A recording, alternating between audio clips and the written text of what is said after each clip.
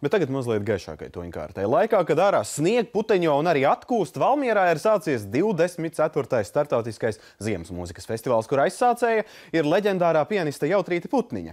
Tā kā pats esmu vairākos šajos festivālos startējis kā mākslinieks, es domāju, ka šis tradicionālais Valmieras mūzikas skolas organizētais pasākums ir labs iemesls nedēļas nogalē izlausties no Rīgas vai kādas citas pilsētas un apciemot vidzemes pērli, baudot gan latviešu, gan ārzemju mūziķu uzstāšanās septiņos koncertos.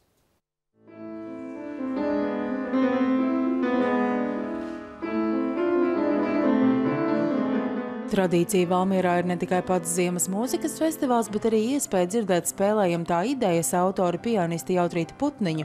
Šoreiz viņas sniegumu varēja baudīt festivāla atklāšanas koncertā. Kā vērtē pasākumu rīkotāji, tieši iespēja mūzikas skola audzēkņiem piedalīties kopīgos koncertos ar jau atzītiem māksliniekiem ir viena no festivāla vērtībām. Viņi viens otru dzird, un ja kāds profesionāls mūziķis paklausās mazo un pēc tam paspiež viņam roku, tad tas viņam uz visu dzīvi paliek, un, un, un viņš arī grib censties un, un arī tāpat mācīties un kļūt par lielu mūziķi. Atklāšanas koncertā līdz ar vairākiem Valmieras mūzikas skolas kolektīviem, diviem koriem, pūtēju orķestri, kokļu ansambli, stīgu orķestri bija uzaicināti piedalīties arī divi skolas absolventi, kas šobrīd mūziku mācās jau profesionālā līmenī.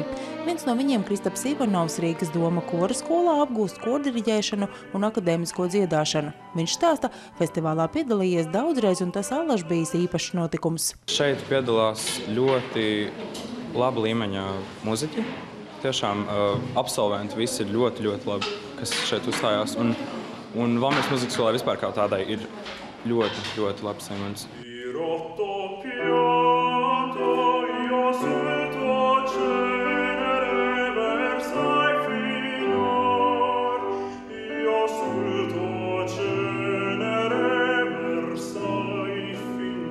Šajā ziemas mūzikas festivālā būs iespēja dzirdēt arī solistus Interu Busuli un Kristīni Prauliņu, spēlēs Latvijas radio Big Bands, Kremerata Baltika stīgu kvartets, Big Bands no Tartu Igaunijā, būs arī tradicionālais nakts koncerts džēza noskaņās.